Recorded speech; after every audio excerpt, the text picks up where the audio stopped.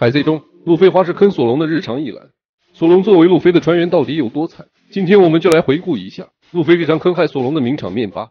作为睡神附体的男人，平日中索隆睡觉都是雷打不动的，但船长路飞竟然因为在海上救了一个人，导致在抓回的时候利用索隆来刹车，被甩入大海中的索隆终于醒了。自此，索隆首次产生了要砍死船长的念头。除了睡觉以外，索隆在日常散步中也会突然遭到船长的直接拉扯。显然，索隆无法接受船长的这种操作。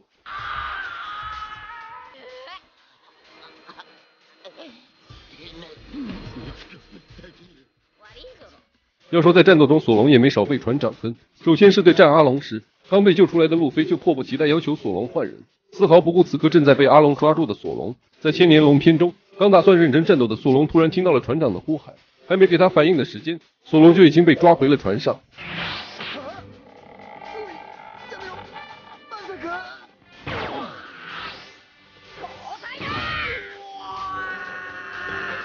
平日中，路飞与索隆也会分开行动。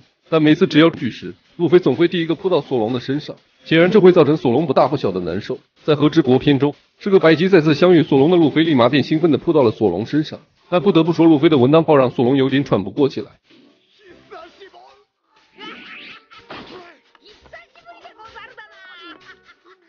说到莫名其妙也会被路飞突然坑害，正走在路上的索隆，突然被路飞驾驶的船撞了个正着。正在荒芜的沙漠中缓慢前行的索隆。也会被突然找到飞鹰处的船长瞬间带飞。船长永远都是安全着陆，而自己则是伤害拉满。这也是他罕见的拔刀恐吓船长的名场面。